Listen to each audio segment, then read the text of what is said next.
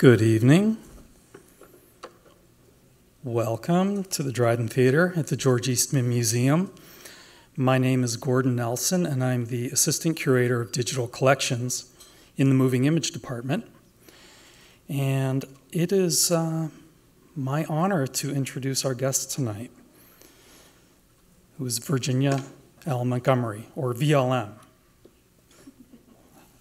Um, this, this we're going to experience an artist talk, and um, and it's going to last for for a little while, and then there will be time for Q and A afterwards.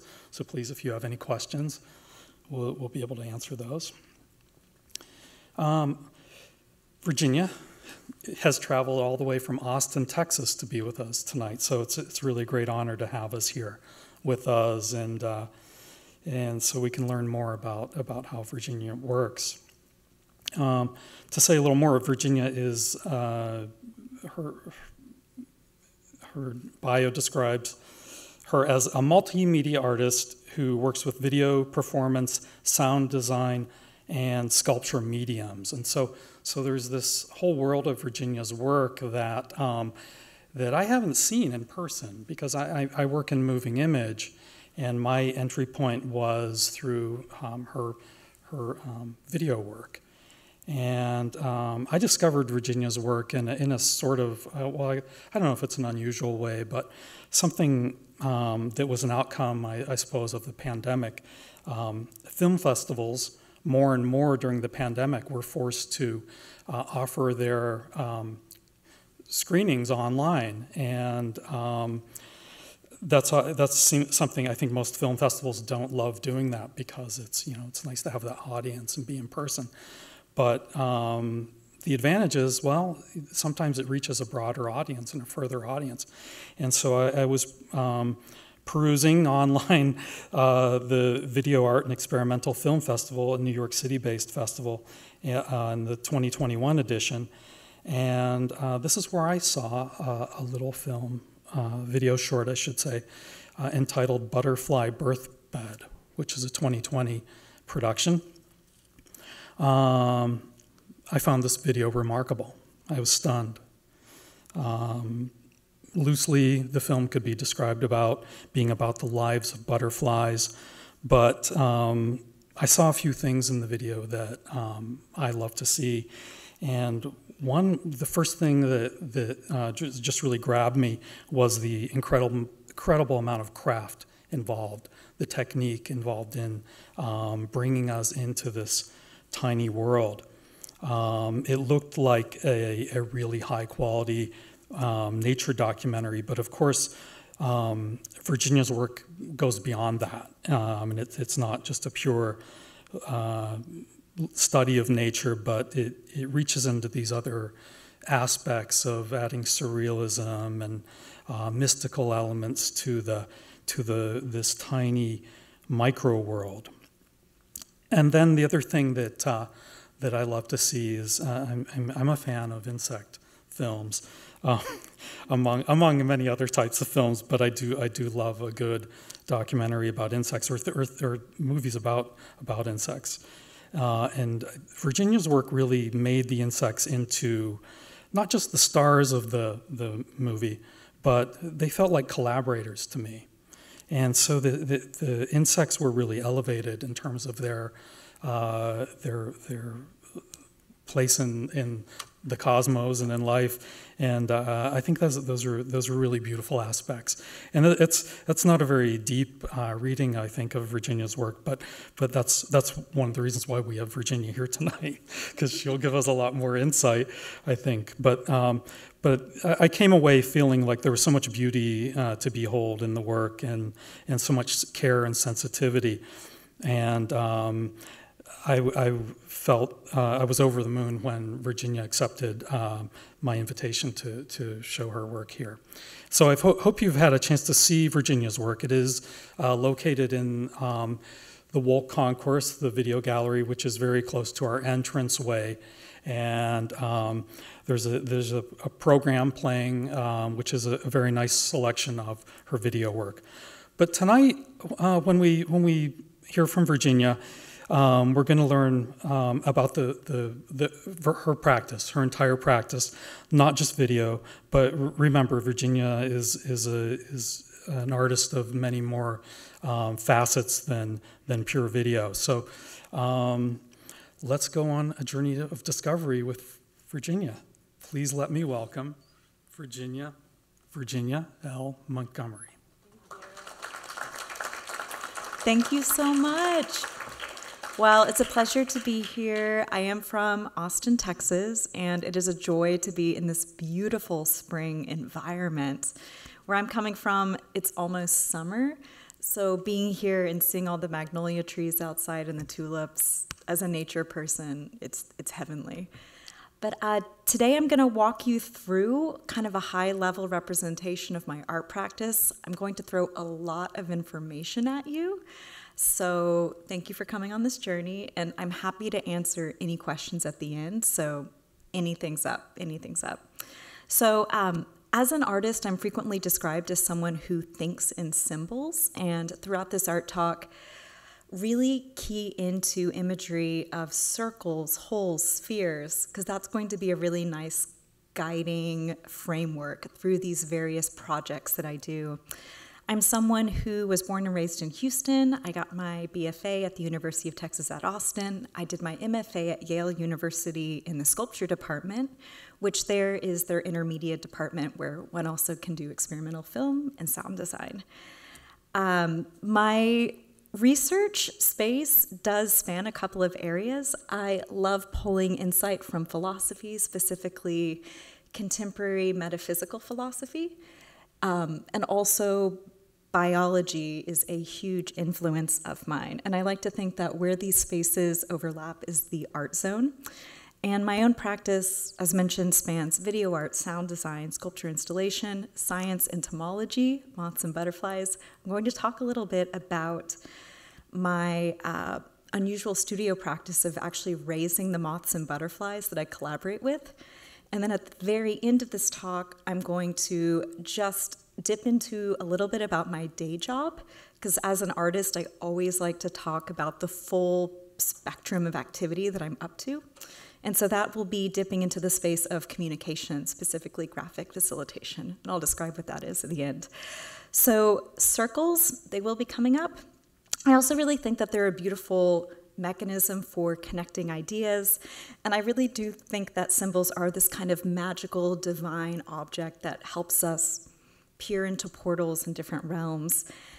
This is a very short, kind of 30 second clip I'm going to show from an art residency that I recently did in a small town called Corsicana, Texas, where I raised some moths and butterflies in a former secret society lodge. And so this little snippet is just going to kind of show what my setup looks like in a studio environment. Hi, my name is VLM, Virginia L. Montgomery. I'm a multimedia artist and I'm from Austin, Texas.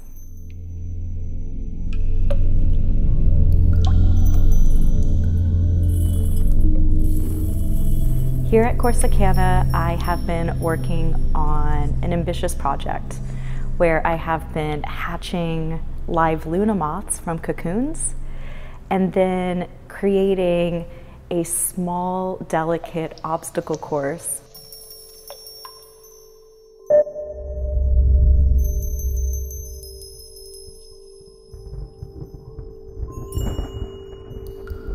wanted to find a way of making a collaborative soundscape with a non-human protagonist. It is a symbolic film about the omnipresence of the circle as a form that is consistent across species.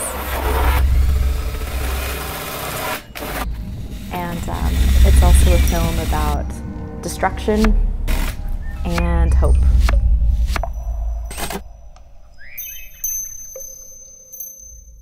So that's me um, in a studio environment. Uh, and the work that I made when I was there was the film Bella Luna that's currently on display across the way at the gallery. And it's this surreal three minute video that features this macro choreographic encounter with me and a Luna moth, so I highly recommend checking it out. This is um, otherwise what it looks like when I'm in the studio. It's a lot of me behind the camera. I do like to use just a Sony, you know, a7 IV camera. I'm a big fan of kind of the run and gun modality of shooting, especially when you're working with things like moths and butterflies that are very erratic and unpredictable. So I have to be very improvisational in the studio when I'm working with them.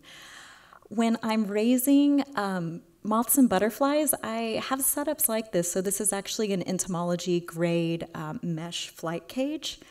And the moths that I work with, that I show in my films, have always just hatched within the first 48 hours. And that's partly because the first 48 hours that they come out of their cocoons, they're very quiet and placid. And then after those 48 hours, when their wings have fully dried, they are just on a mission to get out there in the world and fly and find mates and lay eggs. And so at that point, I end up releasing them outside. So um, one of the things that I love about combining, you know, my interest in being a citizen scientist and an experimental artist is I like to think, well, you know, if if one criticizes the practice of experimental art, at least I can say I have now released dozens and dozens of moths and butterflies into the environment. And um, these collaborations with butterflies and luna moths um, that I've been working on is something that I've been doing the last few years, but uh, it's directly related to my passion for ecofeminist theory. In particular, there's one theorist I love, which is Donna Haraway. She's an incredible mind, someone that spans anthropology, feminism, philosophy, and uh, a lot of her work that she's been coming up with the last few years really puts contemporary kind of post wave, uh, post fourth wave feminism within a space of panpsychic metaphysics, which positions the idea that if we really want to completely neutralize um, ideas of oppression, we need to find a way of recognizing the sentience of other other things around us. And by things, I mean not necessarily um, animals or plants, but extending consciousness all the way down to rocks or bodies of water. And I do have a little blurb there at the bottom about this beautiful parliamentary decision in 2017 that granted a river the same legal rights as a human, and that was done so in order to help aid the conservation of the river. I like to put that there because even if you do think that, you know, panpsychic metaphysical ecofeminism is a bit woo-woo, it can have a productive political uh, affect. So, so this, this research is very important to me. Another point of inspiration is this wonderful film, Meshes in the Afternoon, which I heard recently screened here. Did anyone see that when that was playing here? Thank you, Gordon. Yeah.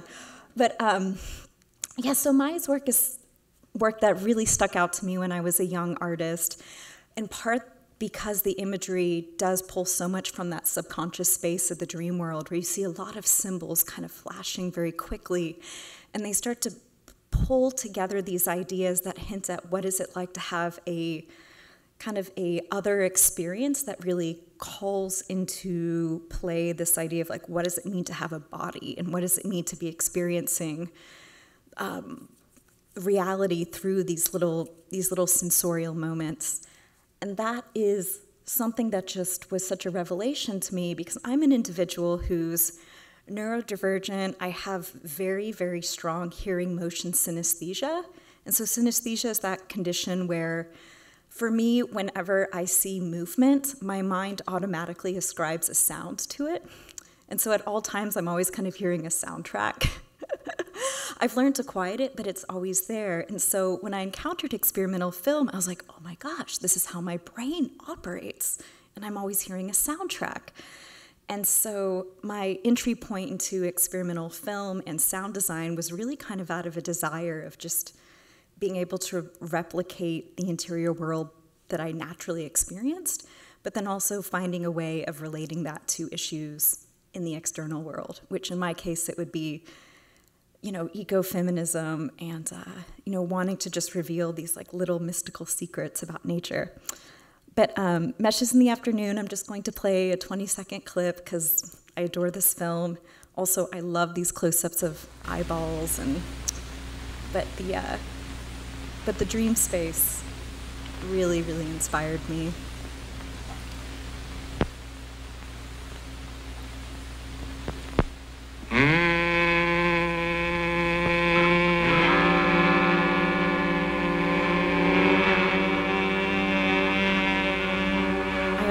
This big circle as a framing device and this mysterious kind of witch-like figure that has a mirror for a face. Oh, she's perfect. Just so perfect. I can't believe this is made in 1942. So, um, jumping ahead, uh, this is a recent work that I did just last year. I had this big solo show in Austin at this wonderful gallery institution called Women & Their Work, which is the second oldest feminist institution in the United States, which I think is brilliant. They were actually the recipient of the first NEA grant in the entire state of Texas. So I was honored when I was able to present this large exhibition there called I Moon Cocoon. And it was an exhibition that was a very surreal unpacking of this performance that I did at NASA Space Center Houston, where um, I took secretly into Space Center Houston a small collection of live Luna moths. And then um, my mother secretly filmed me one at a time introducing these live Luna moth cocoons to the moon rocks and the moon rock collection. And the reason this action was important to me is in thinking about kind of metaphysical issues of proximity. I thought it was so uncanny that a small creature like a Luna moth, which is named after the moon, and like all moths is mesmerized with the moon, is something that for millions of years has never actually been able to get close to the thing that it loves. And so I thought, okay, well, what if I use art and performance as a mechanism of bridging that gap by introducing these live Luna moths to the moon rocks so they have that proximity relationship? And then afterwards, I'll take those live Luna moths and I will hatch them and just see what happens. And so this body of artwork uh, unpacks that from a metaphysical perspective. This installation was a large multi channel installation with these large sculptural objects, including a multi tier pile of blue memory foam with a large 100 pound carved marble stone in the middle. I also do some stone carving. I was trying to make it a large moth egg that was then seated on this memory foam, again to invoke a dream space I also love the fact they're doing research that I discovered that it was actually NASA that invented memory foam. So again, just trying to find these different relationships between science and mysticism and Luna moths and the dream world and surrealism. And then the other component within the space was the bed. So this is the same bed that appears in my film Butterfly Birth Bed. And um, as some of you that are based in New York may notice that this is actually a shaker bed. I have been deeply inspired by the Shakers for quite a while, in part because they are a mystical spiritual community that um, has always been opposed to prejudice, and I found that so inspiring. And I also just loved the architecture of the bed. So I think a lot about bed space as being a mechanism to facilitate dreams and dream space and bed space. And so within this environment of me going to sleep at night and dreaming, I was thinking, oh, well, maybe the Luna moths also want to have a place to dream. So if you see in the far left hand corner, that's an image of a moth scale uh, shaker bed that I constructed. And uh, the film that goes with this piece, the new film is called um, Moon Moth Bed, and it documents this Luna moth that hatches from my hand goes through a small uh, obstacle course of bells and sticks, and then finds her way to this bed, which has a small 3D printed model of the moon, um, which you can download from NASA's website actually and 3D print it. And then the moth kind of unfurls her wings.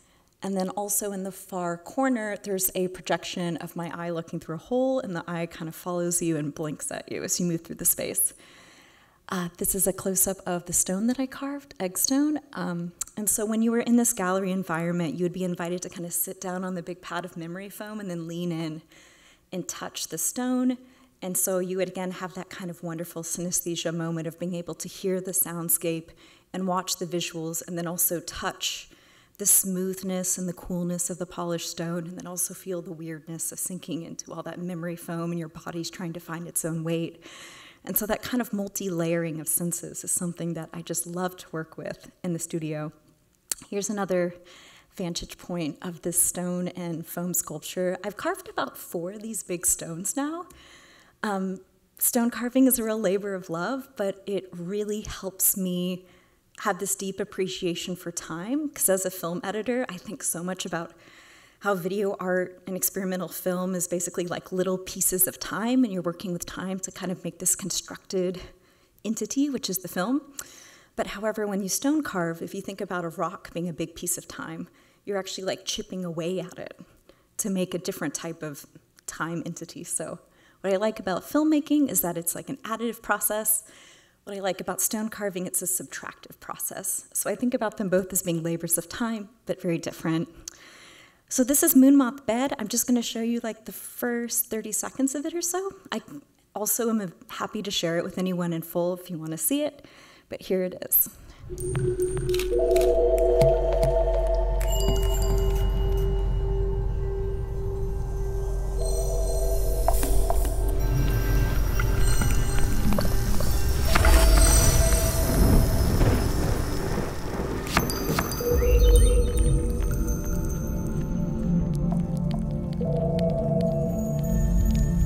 This is the Luna moth that I took to NASA and showed to the moon rocks.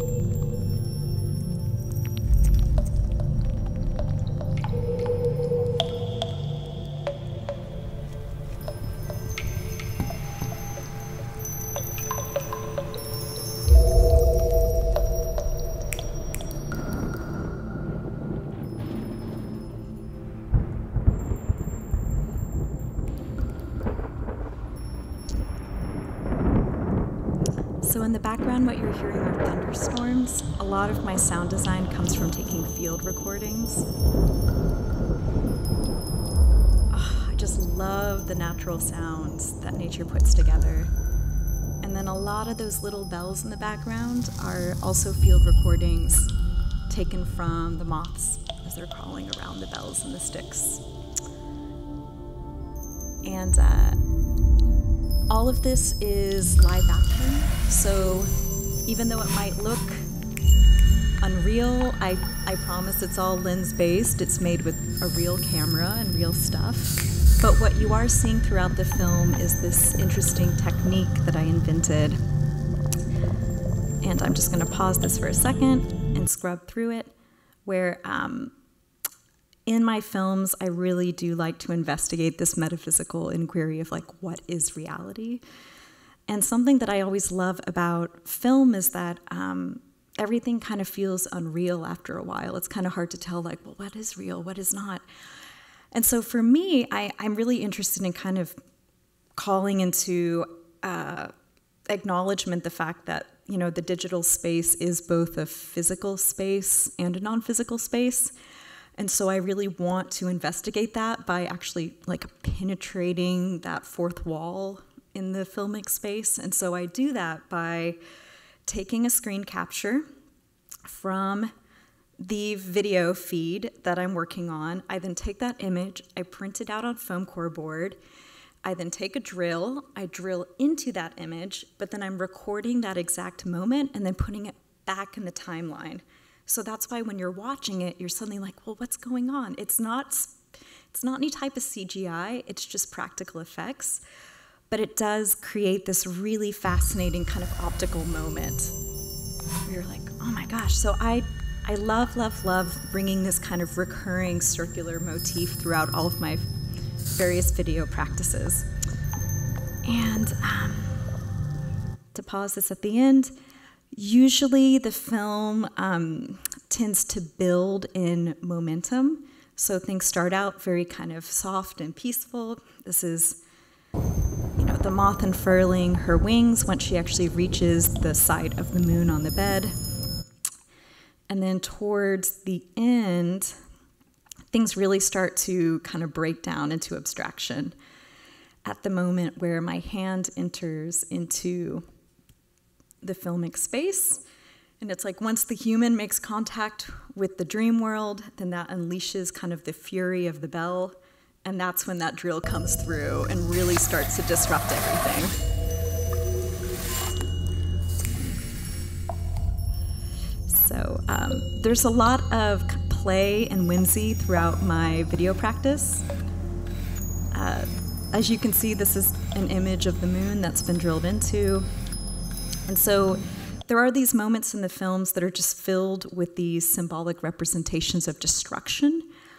But I also want there to be moments of healing and hope that appear in the video. And so within my own kind of linguistic uh, material index, I really like to introduce honey. So you will see a lot of honey coming through. And again, it's a beautiful substance that cross culturally has been used as a way of symbolizing transformation or healing. I always like to think about that fact that the ancient Egyptians embalmed the bodies of the pharaohs in honey. But um, this is just a nice honey drip that I'll play. So this is my, oh, sorry. That's my eye. So I am a, um, I am a true one woman army. I perform in my own work, I shoot my own work, I edit my own work. I do my own sound design, and so yeah, everything you'll see in this is a um, re- relates to my physicality in some way.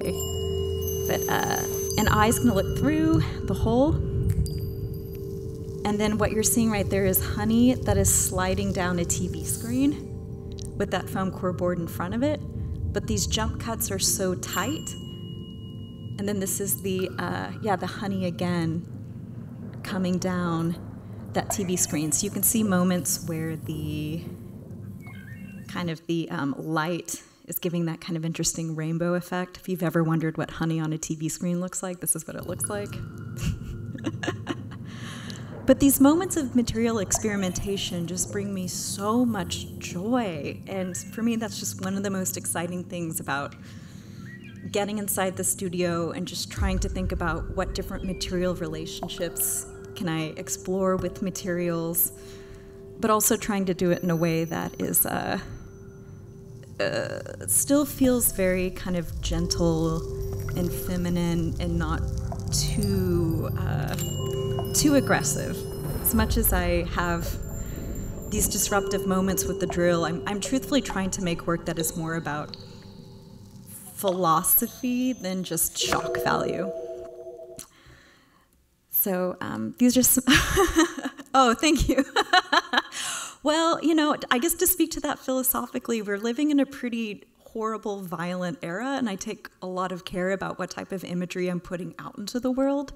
And so, if anything, I just would rather cultivate a passion for you know the delicacy of nature looking at details where i would hope people would also be just as enchanted by circles and their presence across scale from you know macro to micro. But uh, to me, that's much more uh, important than than trying to like re-traumatize because I'm really, really not trying to contribute to a space of trauma right now. There's enough of that going on. Um, yeah, so these are some more images of the install. Um, this is a screenshot from the film O Luna that's currently on display. So this was from a few years ago. Uh, this is just going to be a short 30 second clip of this work. It similarly has Luna moths. This is a close up of a Luna moth egg. Um, they are teeny tiny, about the size of a pinhead when they first are laid. And then that, you know, later uh, the caterpillar emerges as a you know good six inch moth. So it's amazing the scale that that goes through. But anyway, this is Oluna within about 30 seconds.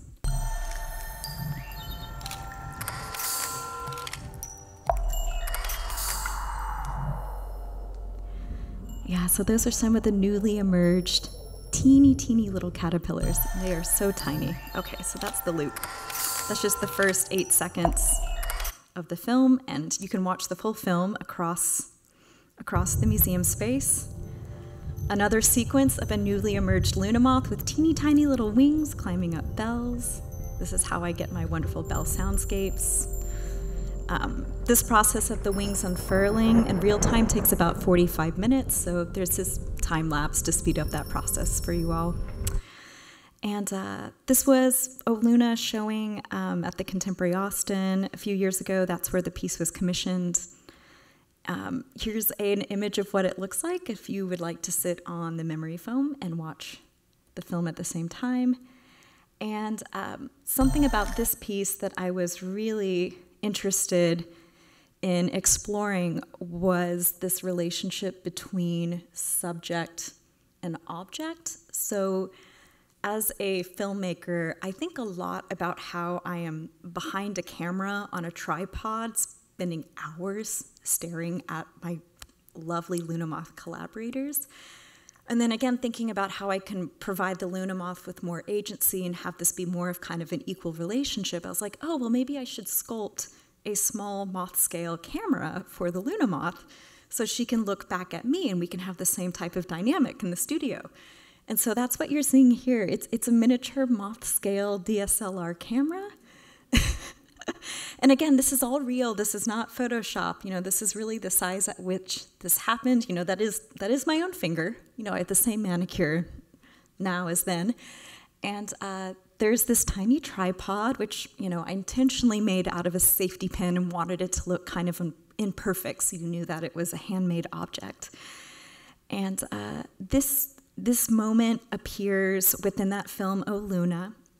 And uh, if I scrub back to the full video, Ooh, sorry guys. Okay. There's a moment towards the end of the video where you can kind of see this small macro set environment that I've built. So this is um, me, as always, kind of playing the role of the somewhat curious, disembodied human collaborator coming on screen, and I'm introducing this small camera to my Luna Moth friend.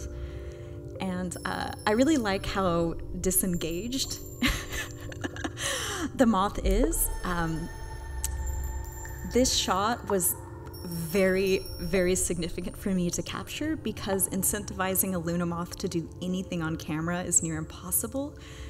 They, uh, unlike butterflies, do not have working mouth parts. You can't bribe them with sugar water.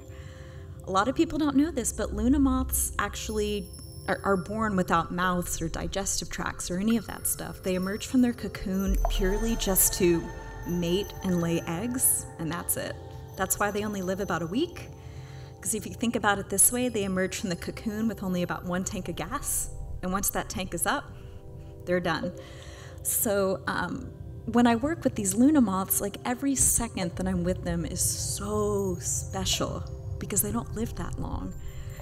And again, as an artist who thinks a lot about how special time is, I, I, really feel honored when I'm able to share these little moments with them, especially a moment like this where, you know, this Luna moth, she probably just emerged about an hour or so ago, which is why, again, she's so placid, because she's just waiting for her wings to dry. And so I get to have these little engagements with the Luna moths. Oh, yeah, so this is another drill moment where uh, I really liked this idea of the drill kind of becoming the lens, and then the drill goes through all the different circle shapes. That's a macro image of an eye spot on a Luna moth wing. And uh, that's a cocoon, so that's the you know drill coming through the mouth of the cocoon after the Luna moth exited. And uh, yeah, so it's all these different meditations on kind of the omnipresence of the circle through this different filmic process. Yeah, so that's the very end of O Luna. You can see the other three minutes in between across the way. And uh, yeah, so here is some images, some photos that I made from that collaboration I was just showing. So this is the moth with the miniature camera. I love this image because it was her showing her full wings. And so these beautiful round eye spots are just so spectacular to me. And from doing a lot of research into Luna moths, something that I thought was so incredible is that there are fossil records of insects with uh, eye spots on their wings that go back to 150 million years ago. Whereas the last age of the dinosaurs was the Cretaceous era, which was about 65 million years ago. So, this, as a visual communications mechanism, has been around for 150 million years, which just blows my mind. So, I really do think that there's something special about the circle being kind of a subconscious linguistic signaling device to denote, you know, obviously an eye spot, but beyond that to denote like the presence of a creature being like, hey, I'm here. And the fact that this evolved even before us as mammals was on the planet, but still exists as a communication mechanism, just blows my mind. Blows my mind. So these are some other images. I love this one. It's like the camera's kind of looking at you, the moth is photographing you. All right, I'm just gonna check the time really quick. Okay. Yeah, so this is in the studio, Circles and Spheres.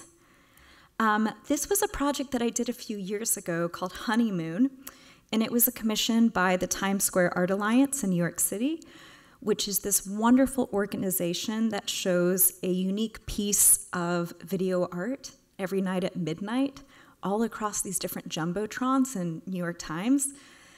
And my proposition when I was asked to make a proposal was to do this film called Honeymoon, which is deeply literal.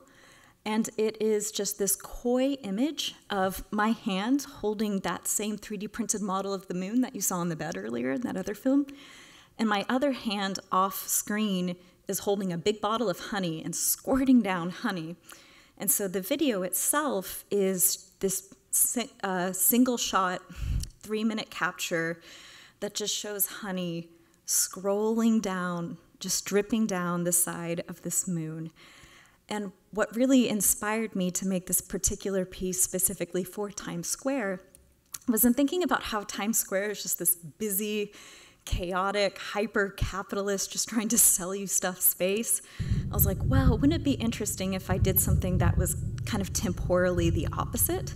So instead of, you know, rapid jump cuts and something trying to sell you an idea, instead it would just be this kind of iconic, witchy image of a hand holding the moon, something that would just be kind of aggressively serene and just exist up there. And uh, so that was my desire with Honeymoon. And um, for me as an artist, when this came on the Jumbotrons at midnight, getting to share that Times Square space with other tourists and see this work come up was amazing because people didn't really know it was coming up. And so suddenly tourists just be like, what is going on? And suddenly all these different moons, you know, would be on the screens. And I also loved the night that the actual moon was in the sky because for me that just completed the philosophic proposition of negation where you just have all these different synthetic digital moons and then the actual moon and then this just really beautiful kind of surreal digital material embodied relationship between the two so this was the honeymoon project so i i have been obsessed with the moon and moon moths for quite a while yeah and so this this full video is available on my website um, there's also a really nice i'm going to scrub through it really quick because i love this second flow of honey that comes down oh, there it is it's just like so satisfying to watch it move. Yeah, yeah. So um, this video is uh, it's on my website. If you happen to have friends in Sacramento, California, actually at the Kings baseball stadium, they're playing this video in between uh, uh, digital advertisements, which I think is delightful. So. Um, I'm always excited about seeing how my videos can exist in public art contexts in different spaces. So um, I love the idea that this, this glowing image of the moon is also existing in a baseball space. okay, so hope and healing. Mm, check on the time. So the butterfly effect is what inspired the butterfly birth bed video that's on display. And that video um, I'm just going to show some images of the initial installation that it was designed with, which was this whole installation that was about hurricanes. And for me, as I went through Hurricane Harvey, which was not fun. And uh, the butterfly birth bed video uh, is about six minutes long. You see the miniature bed in it. In addition to all this hurricane imagery. And this is the first like 10 seconds of the film.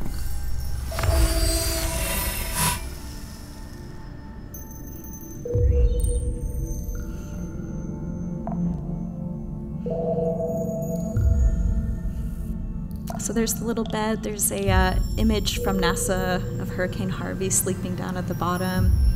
And so the metaphysical proposition for this video is, well, what if the the butterflies emerging over the hurricane can help soothe future hurricanes so that way they will just stop coming and annihilating our coastlines. Again, this is a very magical thinking proposition. But um, in keeping with this beautiful idea of the butterfly effect, which was that lovely concept that came out of MIT in the 1970s that related to a particle. Uh, particle distribution theory that the idea that a you know small butterfly flapping its wings in China would actually have an atmospheric implication that would then affect a storm system in North America. I loved the you know the romantic philosophical sentiment behind this algorithmic proposition, and so I thought, okay, well I'm going to use that to make an experimental art film. And uh, for this one, I did raise buckeye butterflies, which are a wonderful North American moth uh, butterfly species, which I think you can find in this area. But um, anyway, that full video is on display across the way. I am going to stop this and then I'm going to skip through some slides because I wanted to show you guys a little bit about my day job before we go into Q&A. Because this also relates to symbolism and visual communication. And this is my day job as a graphic facilitator. So I have this really unusual career that only about 40 people do. This is all new information, I'm sure, to a lot of people in the room, so don't worry. But what I am trained to do is I'm a live visual note taker. I do a lot of work for TED, like TED Talks. And what I do is I get invited to come into different spaces where people are discussing ideas or presenting ideas. And as people are sharing ideas on stage, I'm usually off to the side in front of a big whiteboard. And at the same time, people are talking, I'm writing and drawing what they say. I am an extremely fast note taker. But the real training behind this skill is I have no idea what people are going to say. I can just listen, think, write, and draw at the same time. And people often say, How can you do this? And usually I then tell people, like, well, again, I'm, I'm, I'm neurodivergent. I'm aware that my brain kind of handles information in ways that may be atypical. And, uh, you know, sometimes being a neurodivergent person means that, you know, you get overwhelmed with sensory information and things can be really frustrating, but sometimes the nice thing about being neurodivergent is that you get these kind of funny superpowers where your mind can handle information um, in really fascinating ways.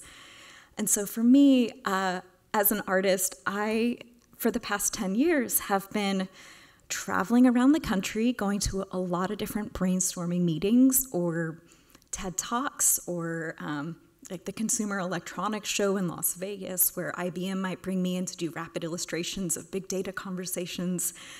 And I really enjoy this type of work because I get to learn so much about what's going on in the world, and I also get to use my love of symbols as a way of communicating information really fast. And um, I also get to travel, and that has just brought me so much appreciation for the complexity of the country. I also love the fact that I work a lot with people outside the arts. And so I love always just feeling connected. And uh, there are wonderful moments in my career where um, I do sometimes get to interact with celebrities, which is always really fun. And in those moments, uh, it, I'm just reminded like how how much of an honor it is as a working artist just to be out there practicing my creative skill and also finding a way of sharing my own creative skill sets, you know, not necessarily with, you know, my beloved subculture of experimental art and experimental art enthusiasts, but also with people that are trying to communicate big ideas to make social change. So, for example, this is a poster that I drew at a um, event in Austin that was a healthcare event that was all about helping midwives um, and nurse practitioners gain expanded rights in the state of Texas because we're having a lot of healthcare issues down in Texas about women having access to healthcare. So for me, it's just so inspiring to get to share my skills in these different ways. And um, oftentimes, these big poster boards that I make, I'll stack them in these big towers so people can photograph it, share it online, share it on their phone. These are some of the graphics, what it looks like. And so, yeah, these are images that I make very rapidly within 45 minutes. These tend to be uh, 40 by 60 inches, so about my size. And, you know, this was a workshop that was about folks with HIV. And this was my like crowning achievement moment is that LL Cool J was talking at an innovation conference and I got to draw for him. So this was my celebrity moment that I thought was really cool. I oftentimes do get to meet like CEOs of tech companies, which is which is cool, but this is a lot cooler. So um, this this is my one flexing moment. So um, I always like to end with this because it's just oh, makes me feel so special. but um, but yeah, that that is my kind of mixed studio practice spanning sculpture rock carving to installation with light design with um, symbolic imagery with butterflies and luna moths, because you know who doesn't like imagery that represents hope and transformation and metaphysics and metamorphosis. And um, yeah, final recap uh, we have symbols, surrealism, ecofeminism, science, synesthesia, philosophical metaphysics, material experimentation, uncanny pragmatism. That's what I think I employ. Collaboration and hope. And so that those are all the things that I just love to bring into the world. And uh, if you want to learn more about my art, I have a whole website full of past projects. And yeah, this is it. So thank you all for being a part of the practice. And again, I know it's a lot of different information, but um, if anyone has any questions, I'm happy to answer anything from like the technical. Yeah, what's up? How do you raise the moths and the butterflies? How do I raise them? So, um, well, usually, so raising moths and butterflies is a very seasonal practice because they spend so much of the year in hibernation in the cocoon or in the chrysalis. And while it is uh, possible to keep them active even in the winter months, because the plants that they don't eat aren't leafing out in the winter months, it is really seasonal. But to answer your question, how I start, it usually starts with eggs. So if I'm not actually getting the eggs directly from a previous brood, then what I do is I reach out to someone from my citizen scientist entomology community and I say, hey, do you have any eggs available? And then usually they take some eggs, they put them in an envelope, they FedEx them to me overnight. I receive the eggs, I then rehydrate them, I put them in that mesh cage that I showed at the very beginning.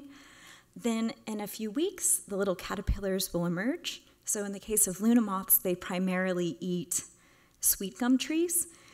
And so then I have to go out in the environment and I have to cut fresh sweet gum leaves for them every day. And I do that for about three months.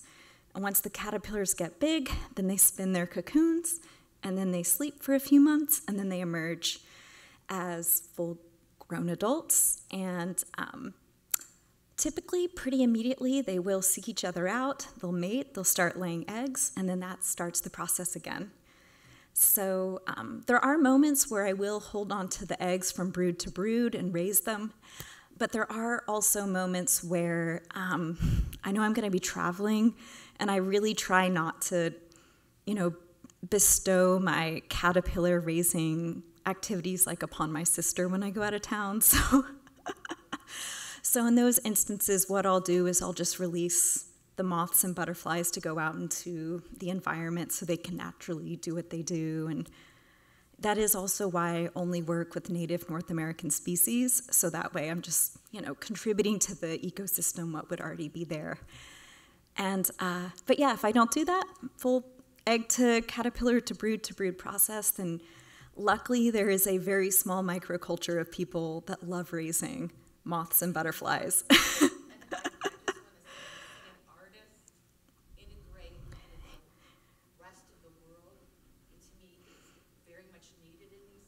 Oh, thank you. Thank you. Well, I I have always loved bugs. I have always loved biology, and I'm just very happy that within the last few years that contemporary art about insects is starting to be more popular because I have had moments where curators are like, "Ooh, you do work about bugs. I don't know." So, I'm I've always loved insects, and I'm just so happy to see that there are people that are more interested in getting up close, looking at um, these very important little participants within our ecosystem. Yeah, thank you. Yeah, did you have a question? What, oh, thank you. What a great, exciting, and fascinating discussion you've had. And you said you were going to throw a lot at us, and boy, did you ever. Oh, I appreciate that. Yeah, I mean, I'm an artist with a research based practice, which means usually I just research an idea and make artwork that relates to that. But it does mean cumulatively, it's a lot of different stuff. So thank It's you a for. lot of thinking. you yeah. tell. Oh, thank you. Well, thanks for hanging tight. You know. So um, I want to make a comment about your hands. Mm-hmm. I, I thought they were terrific. It, it, it, it lended like an omnipresent uh, aspect to what the moths are doing and what your little tripod is doing. Mm-hmm. All of a sudden, the hand of God sneaks in and manipulates things. And it- it's a whole metaphor for we could take it to an, a different level. This is just crazy. Um, also, I was re- remarking my brain how, how clear the focus was. It's so Mm-hmm. sharp. And those moths. What kind of lenses or equipment do you use? Thank you. I mean, it's it it's macro photography, so I'm using macro lenses. I have like a 90 millimeter lens that I like to use. Um, I really like Sigma lenses, so I have like a 90 millimeter Sigma lens. Uh, and you know, um, what you're seeing here on the screen are they're the choice shots because when I'm actually working with the moths constantly they're moving around. So I have so much blurry footage that I'm going through because you know when you're shooting at macro at that level you know the the things are going out of focus so quickly just by like a hair a hair amount. Things will be in focus or out of focus. So this definitely represents a, a um, curated selection. But yeah when you're working with a narrow focus field on this level there's there's a lot of precision involved but there's a lot of patience. Good choice. what was your distance between the, the lens and the, the moth? oh um it depends. I mean usually i'm pretty close. I'd say usually i'm within about four inches. Four inches or so. Sometimes a little bit further away but usually about four inches. So if like the moth was the microphone i'd be like here. Yeah. So In- pretty close I'm sorry, one last question. Mm-hmm. Uh, in, towards the beginning, you were talking so quickly, and you were talking about, uh, I think, kines- kinesthetic? oh synesthesia S- say the word? synesthesia Synesthesia. Okay. Yeah. Could you, could you talk a little bit more about that? I worked with, with a person who had kinesthesia. In the, we were talking about music now. Uh huh. And he said when he heard certain types of music, he reacted and, and he, he had very specific colors Yes, that that's came to mind. exactly. That's part of it too. So synesthesia is just a term for when the mind cross associates different senses in a way that may not be um, typical. So, color sound is a very common association. Sometimes people have the version of synesthesia where they see an alphabet or numbers and they prescribe color to it. So it's it, it's multiple ways of information categorization that the mind is stitching together in uncanny ways. And so for me, it's um, it's hearing and motion. So whenever I see motion, I, so I, I, I basically I, I see sounds or I hear images. But there's multiple types. I think there's about seven different types of synesthesia. So um, yeah, yeah. So your friend is just an iteration of it, and I'm another side of the data set. yeah. Any other questions? I know we have to give over the room in a half hour, so yeah. Uh, hi, I um, I just wanted to say I loved the quote at the very end about um, creating a dream world as an act of hope. Oh, thank you. Um, and I, I kind of reminded me of a question I like to ask many artists: is in your own dream world, in a world of no impossibilities, what is a project that you would like to embark on, and that's just completely out of the world of that we live in. But what would be something that you would do if there were no factors to take and to take into place? Oh my goodness. Um, that is a beautiful question. Thank you. So if I had all the resources to do any type of project that I'd want to do, um, it would probably be a project that related to um, the environment and hard science, but it would probably be something that also had a uh, social engagement with children, because I, I really do like to imagine children as being my uh, ideal audience. I really, I really want to inspire young people to get into experimental film. I really care about this subculture. So I think it would be a project where maybe I would get to work with biologists associated with discovering or researching new butterfly and moth species in the rainforest? Because there's tons of moths and butterflies down there in the rainforest that have yet to be categorized and it's part because entomology just doesn't receive that much funding much like the arts. There are parts of the sciences that just don't have much funding either. So it would be working with the rainforest with moth and butterfly species there and some type of social childhood psychology maybe space. And then i'd also like to find a way of engaging um, the particle physicists that are working at cern at that big particle accelerator that's in a big circle. I don't know exactly what that project would be but something about an eye spot on a butterfly wing and a giant particle accelerator and then just like the awe of engaging um, like the beauty of, of, of young spirits that's that'd be the ideal.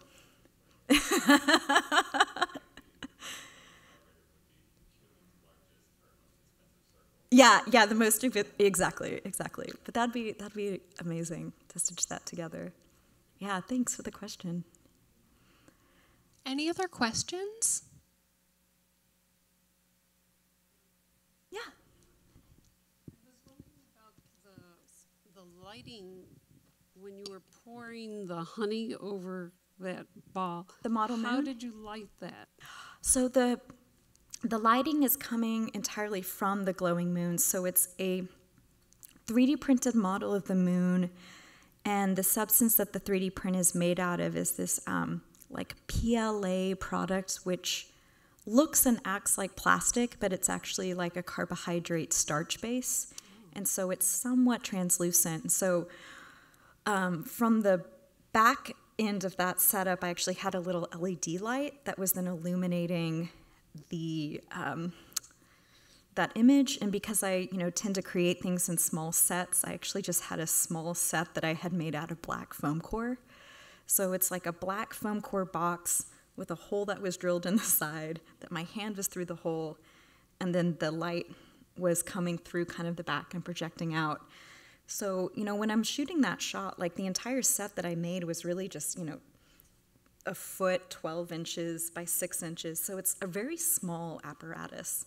And so when I work really small, I'm able to control the light a lot better. So going tiny is, is really helpful for controlling all the different, um, yeah, all the different properties. Yeah, but thank you for that question. Yeah. Virginia, thank you so much. Can we please much. all give her Yeah, thank you so much.